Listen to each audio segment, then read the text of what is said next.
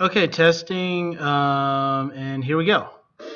The third part of our um, PHP variable series is arrays. So this is where we finish it off.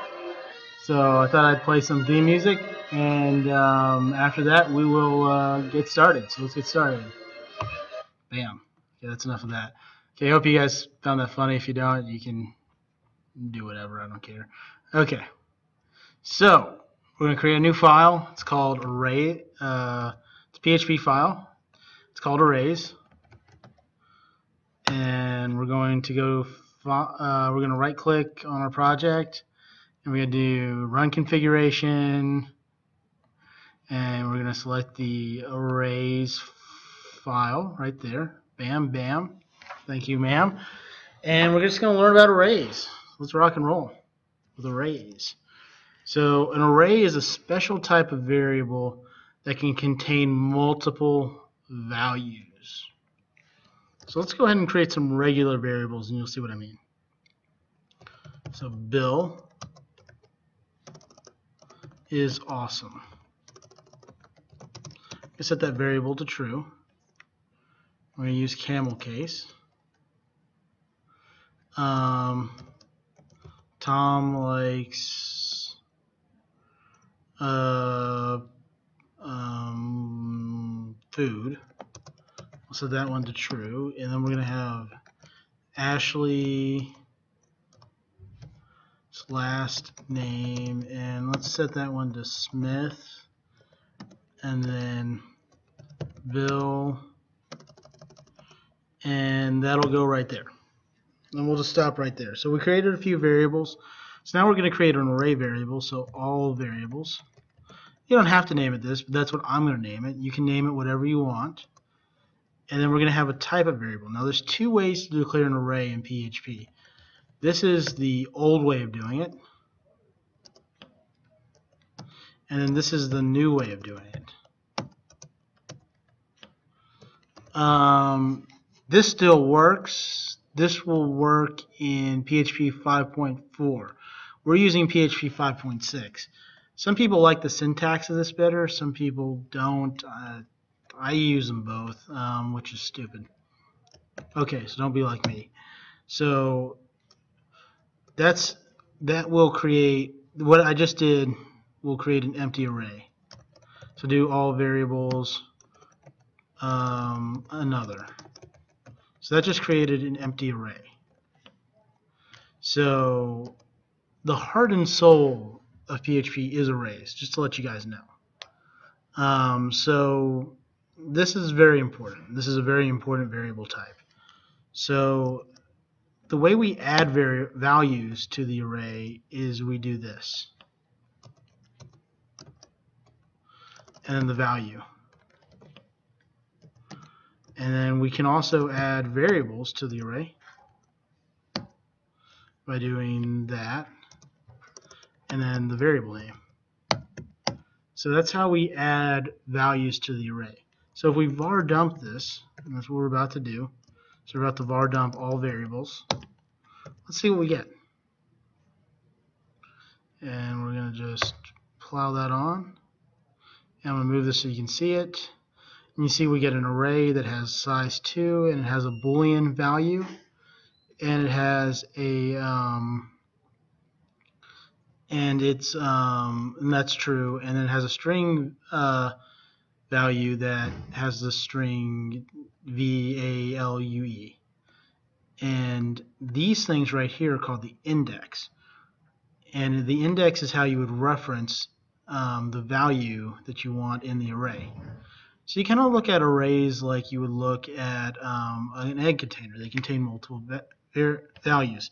Now, what you saw there, you saw the index was at starts at zero. So if we want to do this, what is this going to echo out? What is if we echo this out? If we echo this out, what is it? What are we going to get to, to on the screen?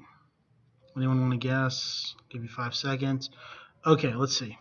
Let's just see what we're going to get. So I'm going to use this. We're already here. And let me move this over a little bit. We get value. So that's how we reference um, the values in an array. We can use the zero. And this is called an index array. So that's the first type of array that we're going to look at. So every time we um, every time we put one of these empty square brackets, it increases the index by one. So let's go ahead and see what happens when we do one. And we're going to go not to that one, but that one. And you can see we it echoes one. And in PHP, one is what they turn true into. So true will turn into 1. And we know that it's true because Bill is awesome. The value of that is true. So true turns into 1 when you print that onto the screen. Okay, so these are called indexed arrays. And these are very um, somewhat common in PHP, and you'll oftentimes need these. Um, an example would be is an example might be say you have uh, user data right? And you want to create an array. And user data, maybe the first index is the name. So I'm going to say my name, Noah. And maybe the user data, the second index might be um, the age, and you could go, kind of go on and on here. And then if we var dump user data, you'll see that we get this.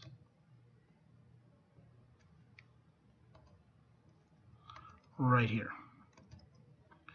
So 0 is Noah, and then 1 is 29. So we're storing multiple values in an array, and it can represent sort of an object, right? So you might have a table object you're trying to describe um, in in the computer, and maybe the table object has a color, it has a um, it has a length, it has a width, it has a weight, and you can use arrays for that. Now the other type of an array that we're going to learn about is an index array. So you don't just have to use 1, 2, and 3. You can use a key and a value. So what we could do here is we could say the key is name and this key is age. So let's see what happens when we var dump that. So let's go ahead. Notice that the key is now name. The key of the is is Noah. So if I want to reference, um, if I want to get the value Noah, I have to use um, I have to use the uh, I have to use the the name of the array and then in square brackets the term, the key name, and if I want to get the age, I'll have to do that. So let me just show you that because that'll make a little bit more sense if you can see it. So we're going to echo out user data, and we're going to echo out name. So what is this going to equal? What am I going to see on the screen? I'll give you five seconds to figure that out. Let's see. Noah. Starting to make a little bit more sense. And then age, what are we going to see?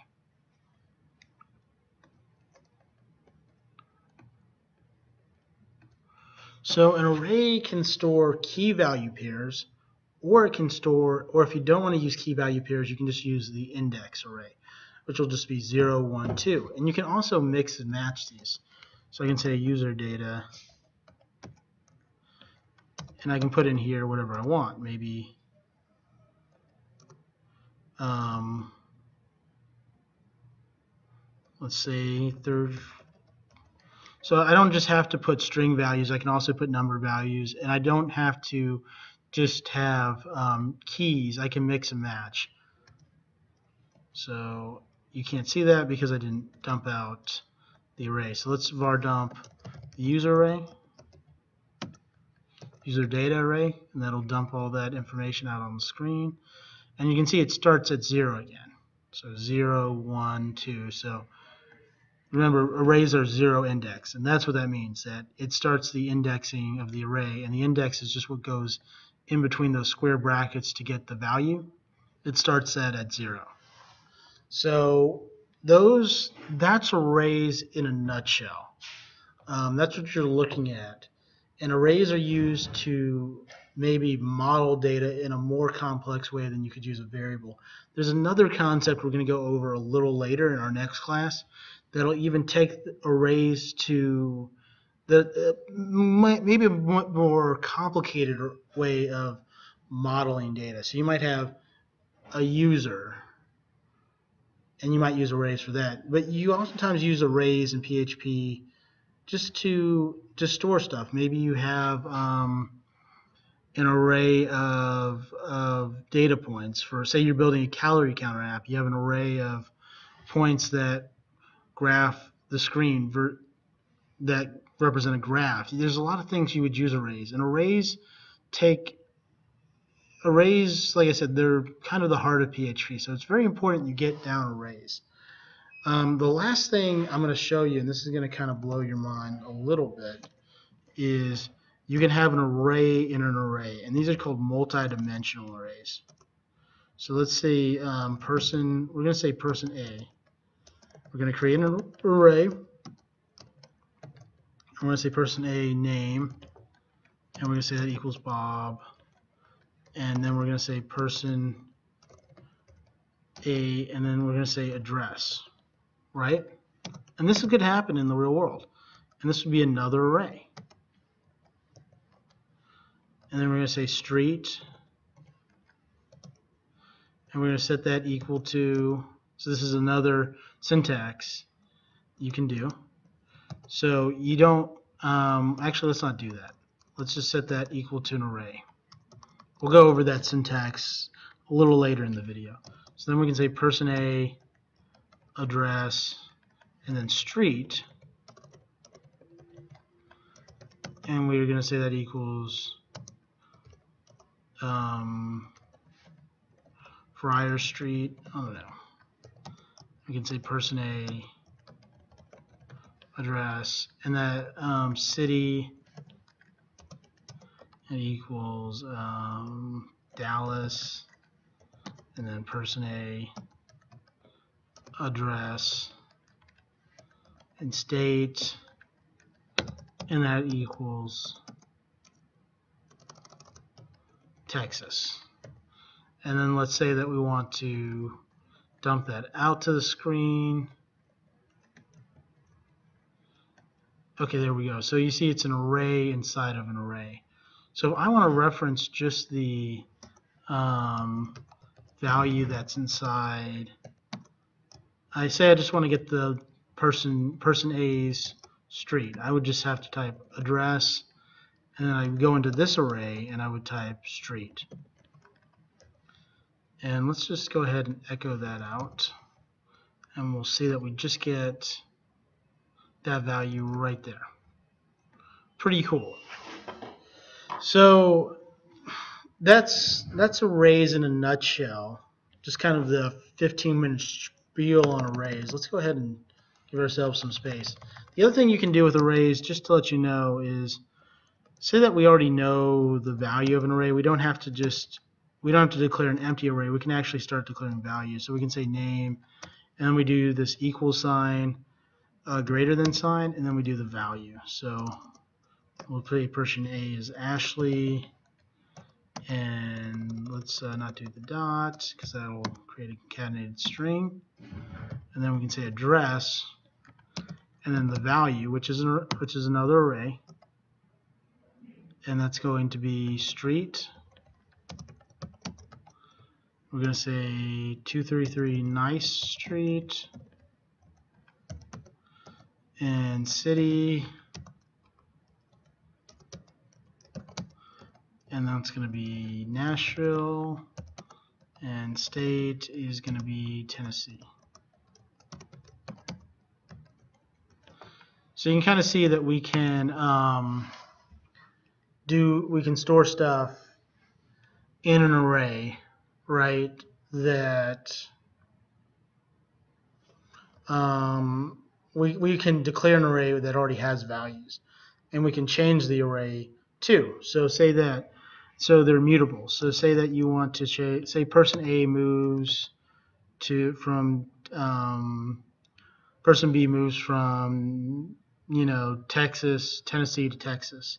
So you can say address um, street, and we're going to set that equal to 123 um, Bill Street, and we're just going to change person B's address.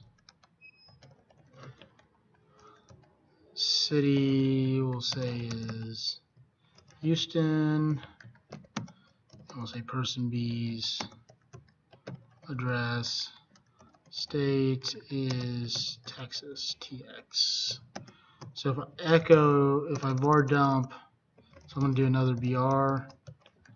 And if I echo, um, if I var dump, I don't have to echo var dump. If I var dump um, person B, what do you think I'll see for the address? You have five seconds to think about it. Okay, let's see.